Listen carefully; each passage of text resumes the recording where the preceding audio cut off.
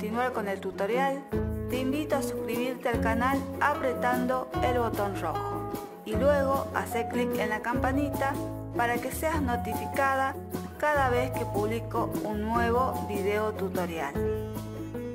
En el día de hoy vamos a realizar este saquito o cardigan para mujer en talle M a dos agujas y este es un tutorial que ya lo habíamos anunciado anteriormente en el video de este tapadito y también les quería comentar que ya tenemos la progresión de talles para este tapadito para que ustedes lo puedan hacer en más talles.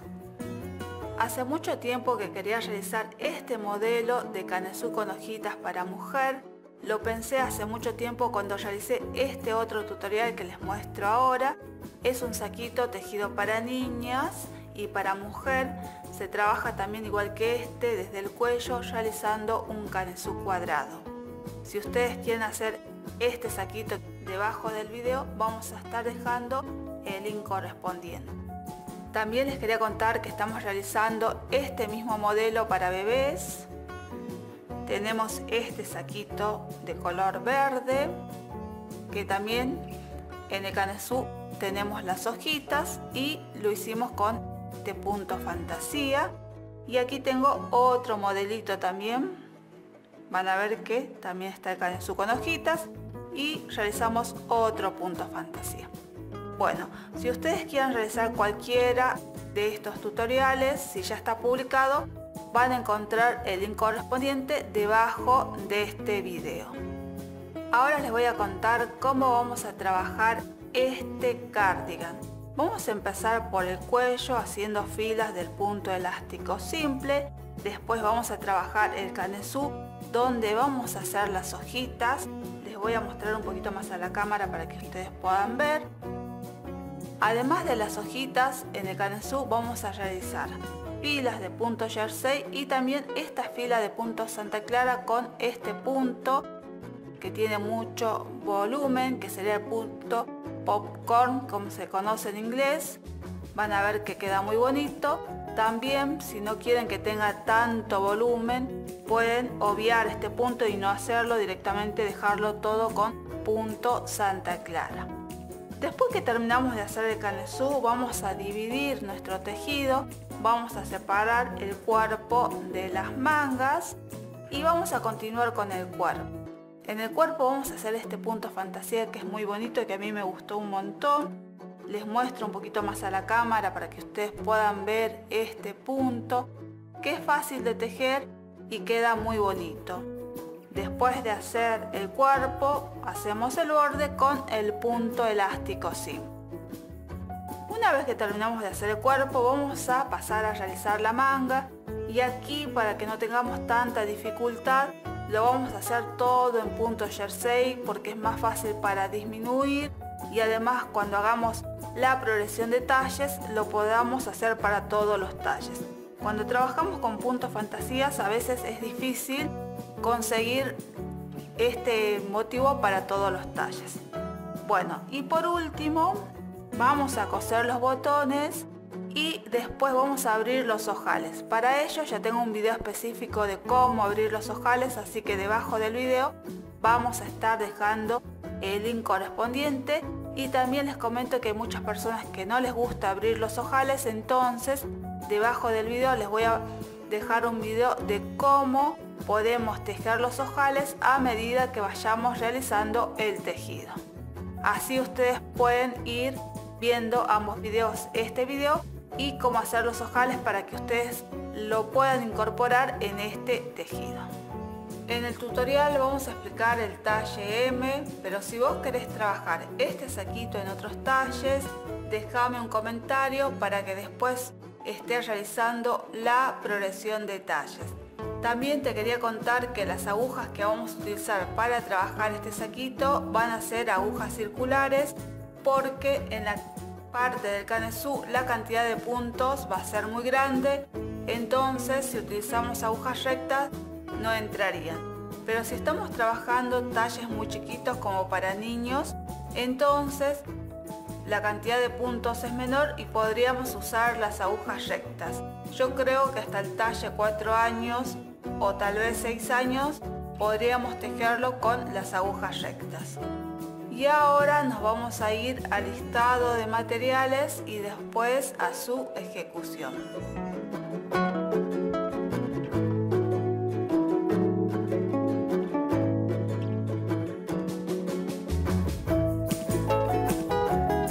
Vamos a comenzar primero tejiendo el cuello, para ello vamos a montar 80 puntos. En este caso voy a hacer una muestra pequeña para grabar mejor el video. Una vez que tengamos los 80 puntos empezamos con la primera fila. Voy a empezar primero trabajando 6 puntos derecho. Dejo 1, 2, 3, 4, 5 y 6 puntos derecho. Estos 6 puntos van a corresponder al borde. Y ahora vamos a trabajar el punto elástico simple. Vamos a tejer un punto revés y un punto derecho. De nuevo trabajo un punto revés, un punto derecho. Esa es la secuencia del punto elástico simple. De nuevo un punto revés, un punto derecho, de nuevo trabajo un punto revés, un punto derecho y de esta forma vamos a seguir trabajando el punto elástico simple y vamos a tejer hasta que me queden en la aguja izquierda 6 puntos que van a corresponder al otro borde. Estamos llegando al final de la fila, van a ver que me quedan 6 puntos en la aguja izquierda y estos puntos corresponden al borde. Y el último punto que trabajé es un punto derecho. Y aquí vamos a hacer una aclaración porque de acuerdo a la cantidad de puntos que hayamos montado, en este lugar el último punto puede ser un punto derecho si el número es par y si es impar va a ser un punto al revés. Esta aclaración lo hago porque después vamos a hacer la progresión de talles y van a haber talles en los cuales la cantidad de puntos sea un número impar. Bueno, vamos a continuar, voy a trabajar. Para hacer el borde voy a hacer 5 puntos derechos, 1, 2, 3, 4 y 5 puntos derechos. Y el último punto que es el extremo, yo siempre lo trabajo al revés. Entonces lo tejo al revés. Si ustedes lo trabajan al derecho, lo pueden tejer al derecho.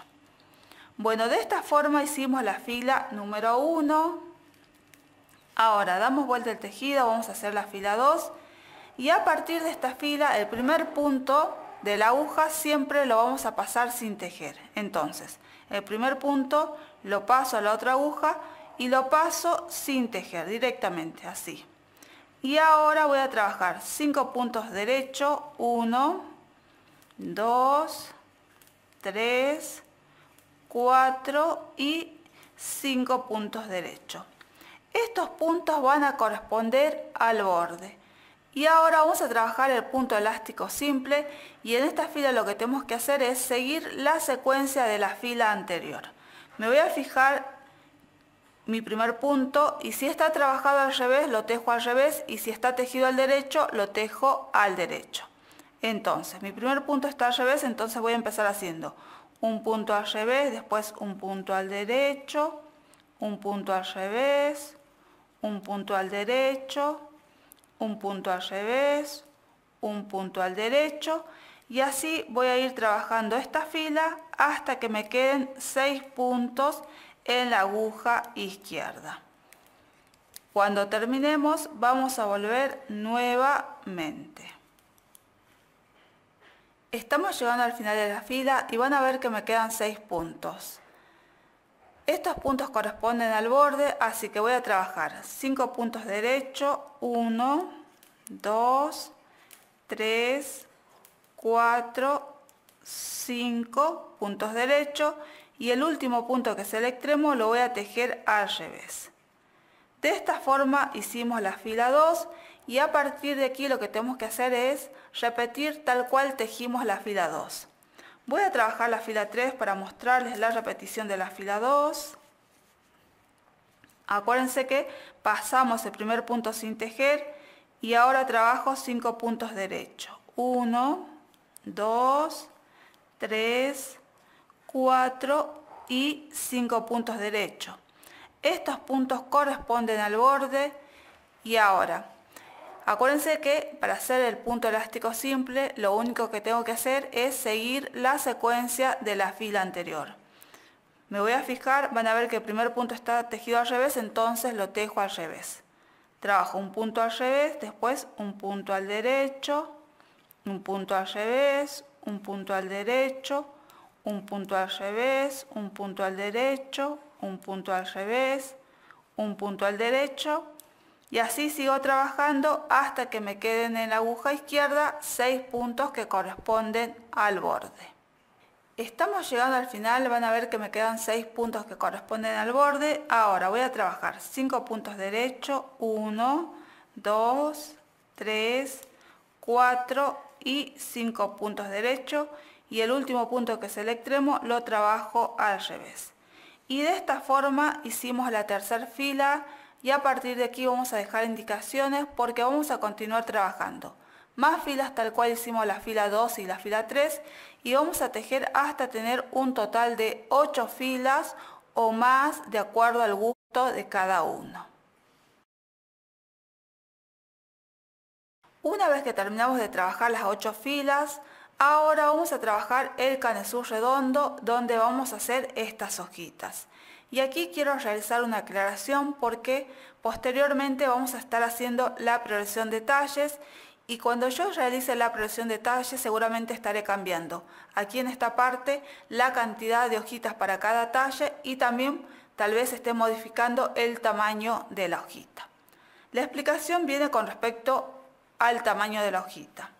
Quiero que vean esta hojita, van a ver que para hacer esta hojita, de acuerdo a la cantidad de filas con aumentos, esta hojita puede ser más grande o más chiquitita. Para hacer esta hojita hice 5 filas con aumentos.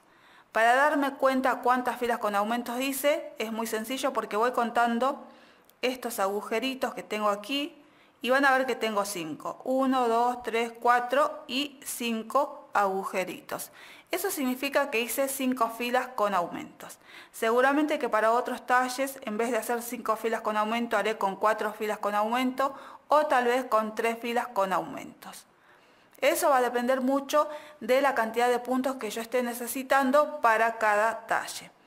Y yo quería realizar esta aclaración porque seguramente cuando realicemos la presión de talles vayamos modificando ya sea la cantidad de las hojitas o el tamaño de la hojita.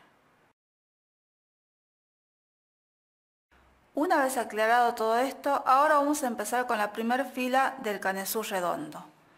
Comenzamos primero haciendo el borde, paso el primer punto sin tejer y ahora voy a trabajar 5 puntos derechos, 1, 2, 3, 4 y 5. Estos puntos corresponden al borde, ahora vamos a trabajar la secuencia de la fila 1. Voy a comenzar trabajando primero. 2 puntos derechos, 1, 2, Ahora hago una lazada, un punto derecho, una lazada. Y ahora trabajo dos puntos derechos. Uno, dos. Y ahora tejo dos puntos revés. 1 y 2. De esta forma hicimos una secuencia. Vamos a volver a repetir. Trabajo. Primero dos puntos derecho. 1, 2, una lazada, un punto derecho, una lazada, dos puntos derecho, 1, 2 y ahora trabajo dos puntos revés, 1 y 2. De esta forma hicimos otra secuencia. Voy a repetir una vez más. Vamos a trabajar dos puntos derecho, 1, 2, una lazada, un punto derecho, una lazada, ahora dos puntos derechos, uno y dos. Y ahora trabajo dos puntos revés, uno y dos. De esta forma hicimos otra secuencia y así vamos a trabajar hasta realizar la última secuencia completa. Estamos llegando al final de la fila, terminamos de hacer la última secuencia completa y en la aguja izquierda me quedan 6 puntos que corresponden al borde y 5 puntos del punto fantasía. Ahora en esta parte vamos a trabajar una secuencia incompleta. Voy a comenzar haciendo dos puntos derechos, 1, 2, Ahora, una lazada, un punto derecho, una lazada, dos puntos derechos, uno y dos. Terminamos de hacer el punto fantasía y ahora trabajamos el borde. Tejemos cinco puntos derechos y el último punto que es el extremo lo trabajamos al revés. De esta forma hicimos la fila número 1. Ahora vamos a dar vuelta el tejido, vamos a trabajar la fila 2, que es muy fácil.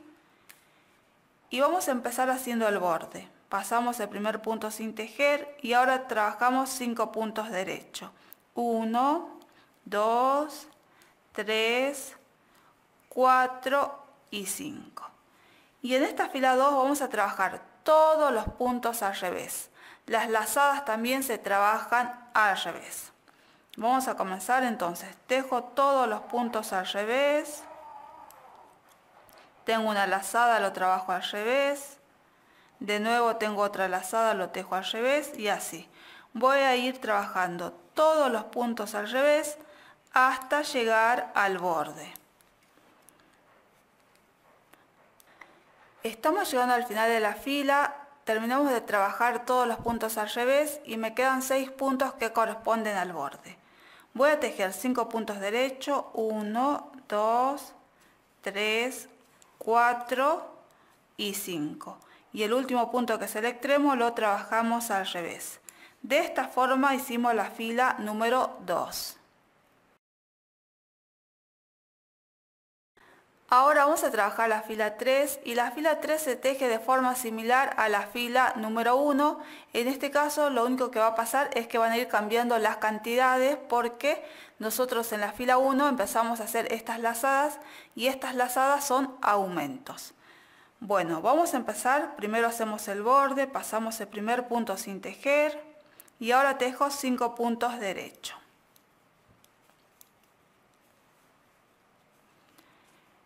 Tejí los cinco puntos derechos y estos puntos corresponden al borde. Y ahora vamos a empezar con la secuencia de esta fila. En este caso vamos a trabajar primero tres puntos derechos, 1, 2 y 3. Ahora tejo una lazada, un punto derecho, una lazada y ahora hago tres puntos derechos. 1, 2 y 3. Y ahora tejo dos puntos revés, 1 y 2. Hicimos una secuencia, volvemos a repetir, trabajamos tres puntos derechos, 1, 2 y 3.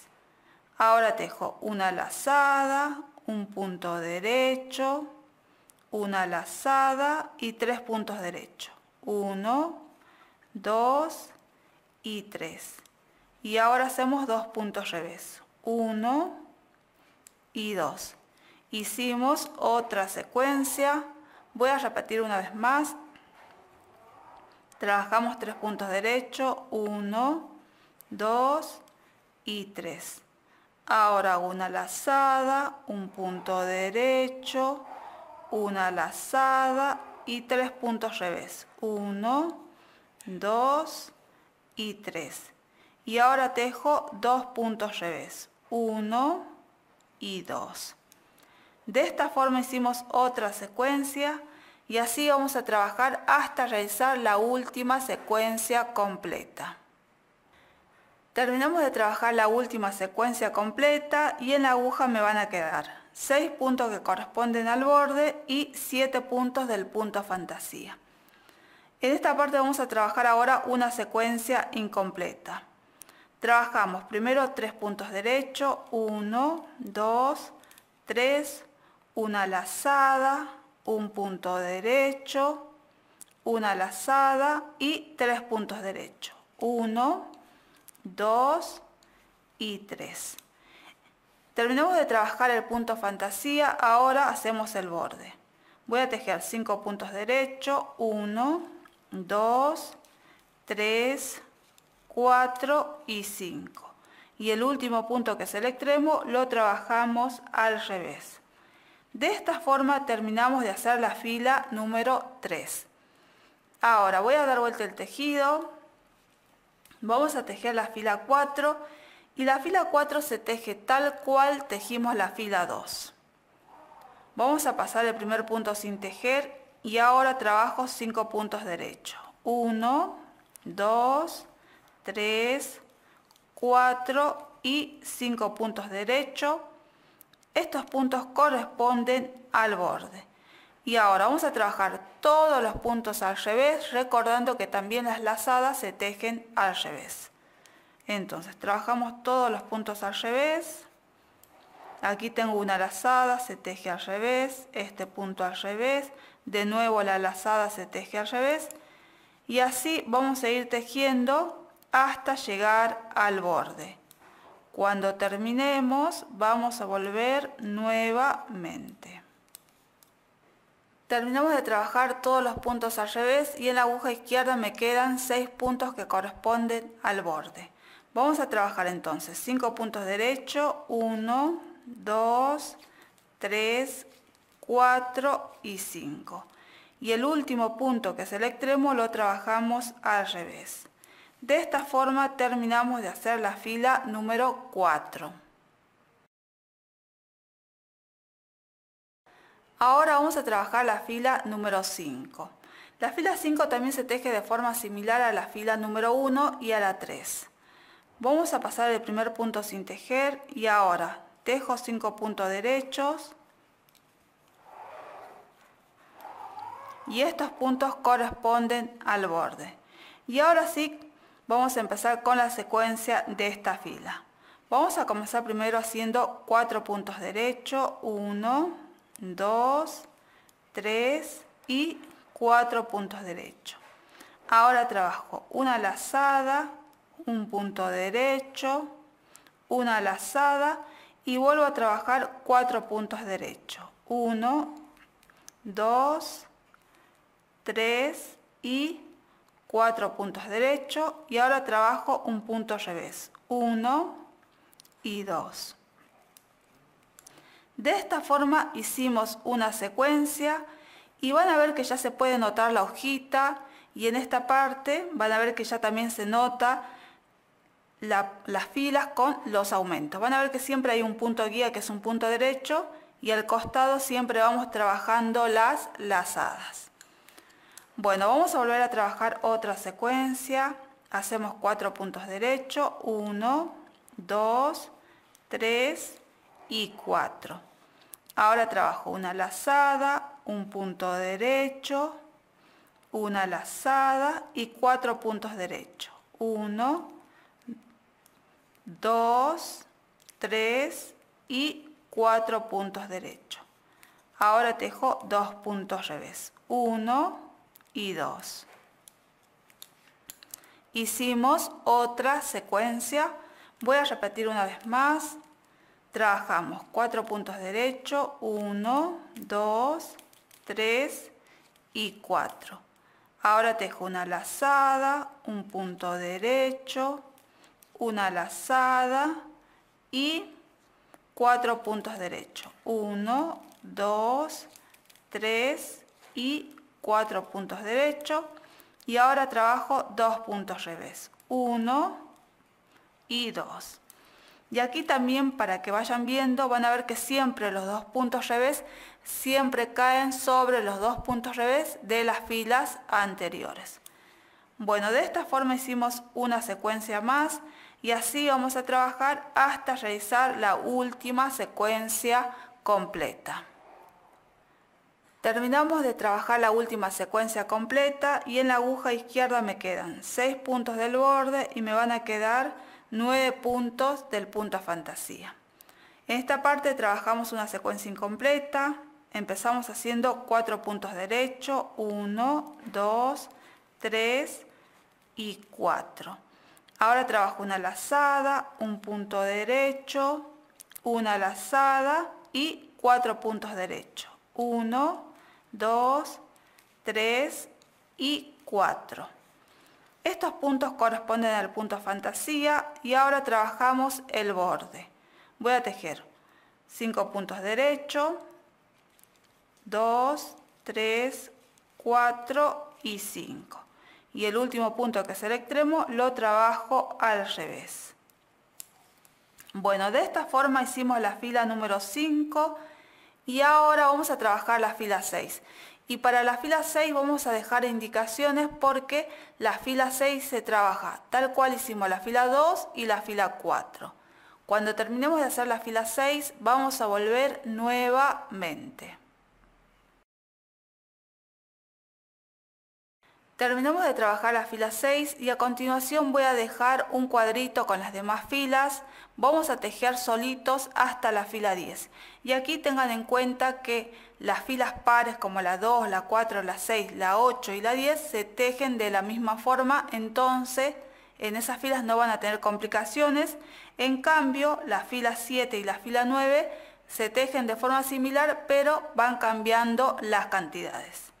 Ahora, para que ustedes tengan una referencia, el escrito va a decir lo siguiente.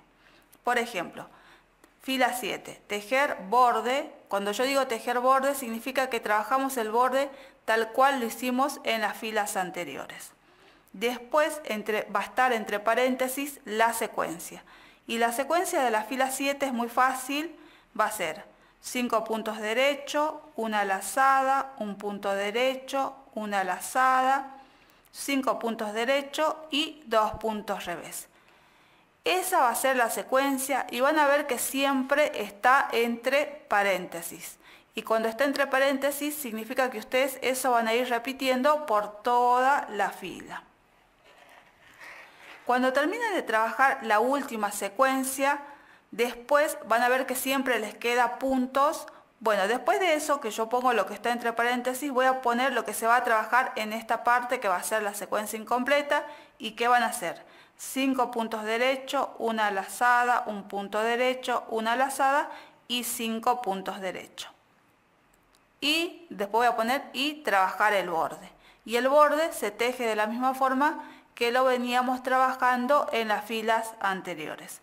Bueno, de esa forma va a ser el escrito de las filas, así que a continuación les dejo el cuadrito. Cuando terminemos de trabajar la fila 10, vamos a volver nuevamente.